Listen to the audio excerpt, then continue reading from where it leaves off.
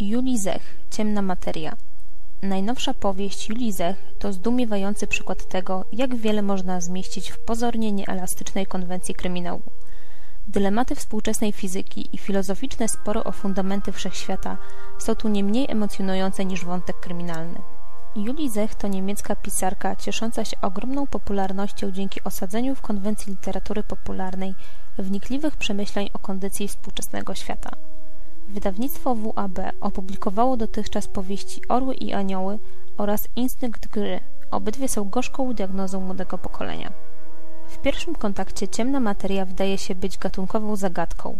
Opowiada o niezwykłej przyjaźni Oskara i Sebastiana, która z końcem studiów i wejściem w dorosłe życie zaczyna się ochładzać, komplikować i gasnąć. Oskar wybiera samotność i oddaje się badaniom naukowym, a Sebastian kształtuje swoje życie niejako w opozycji do Oskara – Żeni się z Majki, wychowuje syna i uparcie obstaje przy teoriach, które Oskarowi wydają się śmiesznym reliktem przeszłości. To właśnie wokół sporu o fizykę zaczynają się polaryzować psychologiczne konflikty w tej powieści. Obserwujemy, jak koncepcje fizyczne i filozoficzne stają się orężem w walce dwóch mężczyzn, a pod powierzchnią czysto naukowego i merytorycznego sporu kłębią się dawne urazy i osobiste pretensje. To właśnie wokół sporu o fizykę zaczynają się polaryzować psychologiczne konflikty w tej powieści. Obserwujemy, jak koncepcje fizyczne i filozoficzne stają się orężem w walce dwóch mężczyzn, a pod powierzchnią czysto naukowego i merytorycznego sporu kłębią się dawne urazy i osobiste pretensje. W tak przygotowanym krajobrazie, jak grom z jasnego nieba, pojawia się zbrodnia. Niespodziewana, zaskakująca, dokonywana przez kogoś, kto nigdy nie zabił i nie chce tego robić – Julii Zech opisuje psychikę bohatera, który przekracza granicę, walczy z myślą o zbrodni i godzi się z nią, a w końcu planuje ją i wykonuje.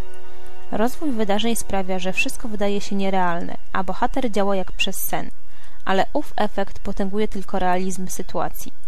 Powieść zamienia się w trzymający w napięciu thriller z kilkoma zaskakującymi zwrotami akcji, a zagadkę zbrodni próbują rozwiązać Rita Skóra i inspektor Schilf – których relacje złożonością niemal dorównują relacjom Oskara i Sebastiana.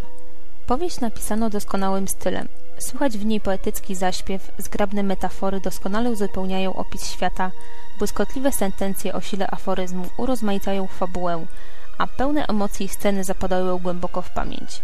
Juli Zech tworzy do bólu realnych bohaterów, opisuje ich złożoną przeszłość, wzajemne konflikty i kierujące nimi motywy – a jednocześnie pozwala sobie na przerysowanie swoisty karykaturalny rys, który dodaje niektórym postaciom wyjątkowości, a całej powieści ciepłego, subtelnego humoru.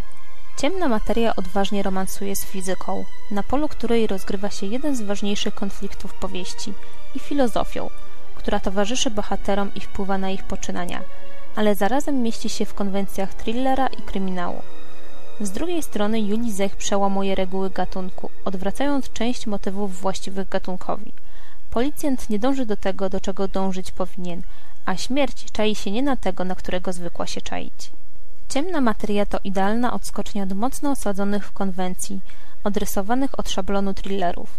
Oryginalni bohaterowie, ciekawa warstwa psychologiczna, stylistyczne i filozoficzne smaczki każą przestawić powieść Julii Zech o półkę wyżej – Jedyne przeciwwskazania to ewentualna alergia na rozważania nad wszechświatami równoległymi i mechaniką kwantową, których nie brakuje w tej niezwykłej powieści. Autor recenzji Krzysztof Kurp-Pochmara. Czytała Izabela Alain Zabłocka. Recenzja opublikowana na portalu katedranast.pl